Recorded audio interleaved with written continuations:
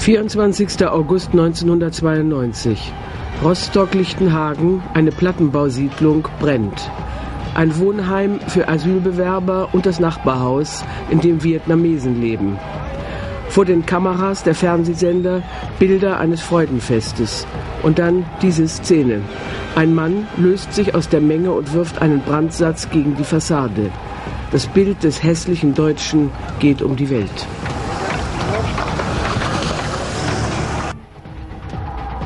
Bin ich und werfe gleich ein Maul gegen die Hauswand. Ein Geständnis zehn Jahre später.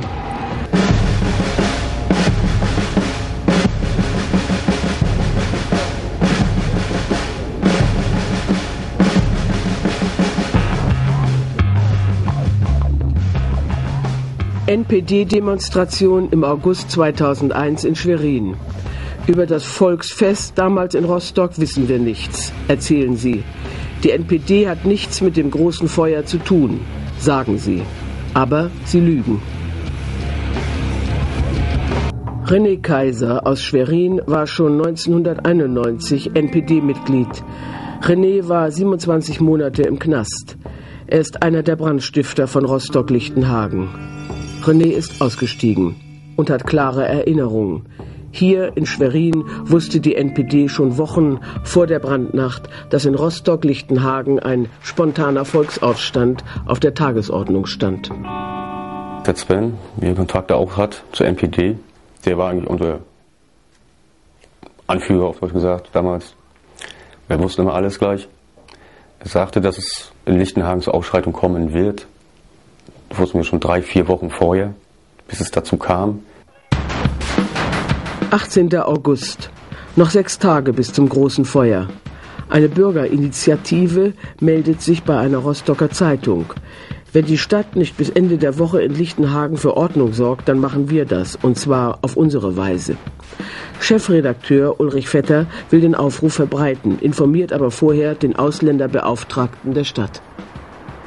Da habe ich versucht, im Gespräch mit Herrn Vetter meine Position zu vermitteln, dass ich es für gefährlich halte, es zu veröffentlichen, weil das ja quasi wie eine, eine geschaltete Annonce kostenlos zum, zum Aufruf, jetzt sammelt euch dort, weil einfach die Stimmung so emotionalisiert und angeheizt war. Und wir sind im, haben im Dissens dieses Gespräch beendet, weil er gesagt hat, also er wird es veröffentlichen und äh, ich das also ganz und gar nicht teilen kann. 19. August.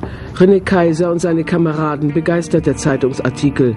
Sie treffen sich regelmäßig im Jugendclub Schwerin mit anderen Rechtsradikalen und organisieren ihre Jagd auf vietnamesische Zigarettenverkäufer. Von der Club zugemacht hatte, haben sie getroffen, auch andere Kumpels, Berliner Platz, sind wir mal rumstreuchelt.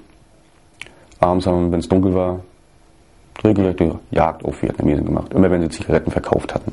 So bis sie die Dinger rausgerückt hatten, die Zigaretten. Ja. Habt ihr sie erst da selber weitergeraucht? Dann haben wir sie geraucht, ja. Oder war der verscheuert? Was hatten Sie damals an? Ja, wir hatten alle so 14 Loch, Ranger, Bomberjacke, Tarnhose, T-Shirt. Mit Parolen drauf und so. Wie zum Beispiel Siegheil konnten überall hingehen, wo wir wollten. Man hat nichts gesagt. Und die Polizisten haben Ihnen auch nichts gesagt? Nein, die Polizei hat niemals was gesagt. Im Sonnenblumenhaus leben 150 Vietnamesen in direkter Nachbarschaft zum Asylbewerberheim. Die DDR hatte sie als Vertragsarbeiter nach Deutschland geholt. Mit den Zigarettenschmugglern von Schwerin haben sie nichts zu tun. 23. August, Sonntag. Die ZAST, die zentrale Aufnahmestelle für Asylbewerber, brennt. Das Volk wendet sich jetzt dem Block der Vietnamesen zu.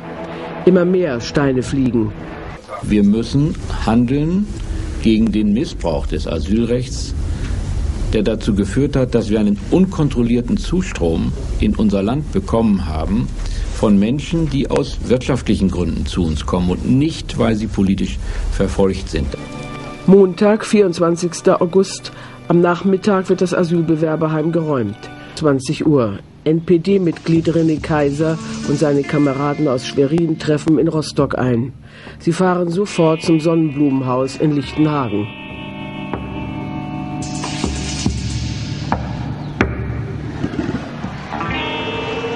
Uhr.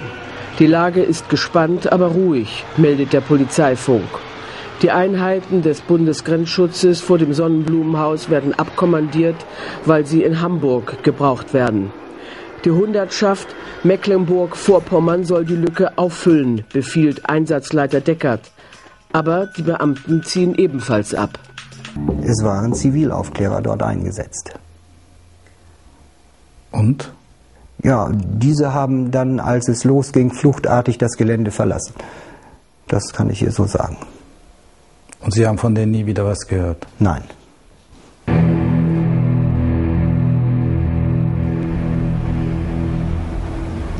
So, hier ist der Sven, ein Kumpel von mir, der jetzt gerade über den Balkon klettert, ins Fenster einsteigt. Versucht Gardinen anzuzünden, mit noch einen. Den kenne ich aber jetzt nicht.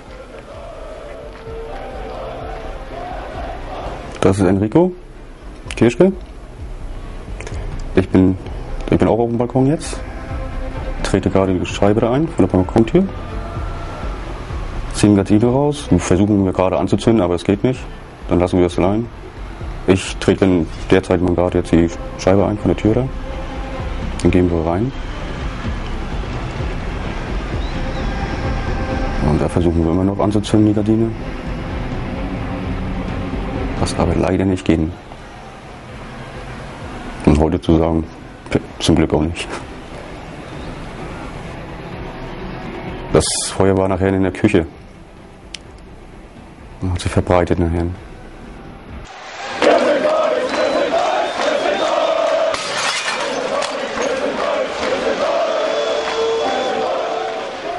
Alle haben gepulst, die Keil und sowas alles mitgemacht. Sind wir weiter auf den Rasen gegangen. Kamen ältere Passanten, auch jüngere, mit Plastebeutel vorbei bei uns. Durch die ganze Menge da haben sie abgestellt und haben gesagt, nun werft mal, das sind Mollys. Wir sind schon alle fertig so. Und wir haben uns die Mollys dann genommen und aufs Haus geworfen.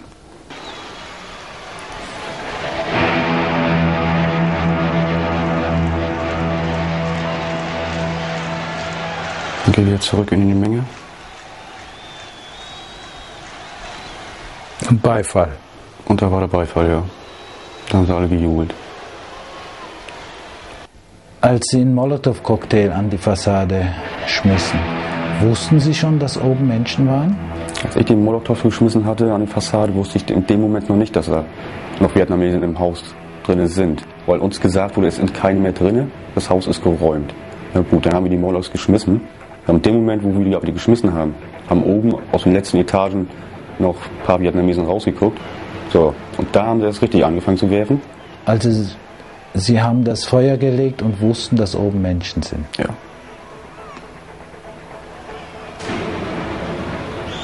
Haben Sie vielleicht einen kurzen Moment gedacht, dass Sie die damit in Lebensgefahr bringen oder töten können? Daran habe ich auch gedacht, dass ich die in Lebensgefahr bringen könnte oder töten.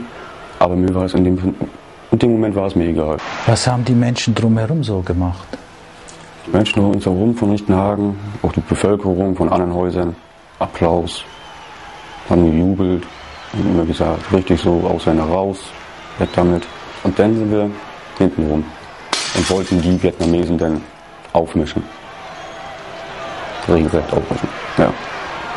Wir hatten drinnen alles Feuer gelegt, im Büro, so im Keller, Kellerräume oder was es war da. Nur damit sie verbrennen. Das war uns egal. War die Polizei schon abgezogen vor dem Haus oder stand da Beamte? Nein, die Polizei die stand immer noch da vorm Haus. Die haben nichts gemacht. Die standen in Gruppen da und haben zugeguckt, wie wir die Molotows geschmissen haben, was wir nun da zerstört hatten, ob wir nun über den Balkon geklettert sind, angezündet haben, auch hintenrum. Die Polizei hat nichts gemacht. Gar nichts. Die haben euch gesehen. Ja, die haben uns gesehen. Standen auch welche Beamten direkt am Haus? Direkt am Haus und hinterm Haus. Auch beim Eingang standen sie. Bloß es ist keiner eingeschreitet. Erstens sind diese Aussagen richtig. Das kann man auch der Aktenlage entnehmen. Es waren Polizeikräfte vor Ort, auch als die Inbrandsetzung erfolgte und auch als der Einsatz der Feuerwehr erfolgte. Wurde gegen die jemals ermittelt? Ist mir nicht bekannt. Ich würde sagen, nein. Hinten rum, durch den Tunnel, den Haupteingang des Hauses, wo andere schon alle gewartet hatten und schon welche drinnen waren. Es hat auch schon leicht gequalmt da drinnen. Ja, dann sind wir auch noch alle reingegangen da. Weiter zertrümmert, auch ein bisschen gezündelt. So, bis gewartet, bis die Vietnamesen runterkamen. Aus dem Hausflur. Und dann wollten wir uns mit denen auch prügeln. Ging ihn leider nicht, weil er eine Machete hatte. Ja, und dann sind die Vietnamesen nachher wieder nach oben gegangen. Ja, und nach, äh, hinterher ist eigentlich gar keiner gegangen nachher. Dann sind wir raus. Da standen schon Beamte auch.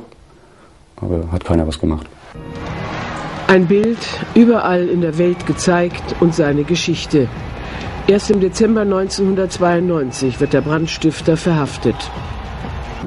Hunderte standen in den Augustnächten des Jahres 1992 vor dem Sonnenblumenhaus. Viele warfen Molotow-Cocktails, aber nur wenige wurden zu Haftstrafen verurteilt. Und auch René hat noch Glück gehabt. Der Wurf des Molotow-Cocktails wurde vor Gericht nicht einmal verhandelt.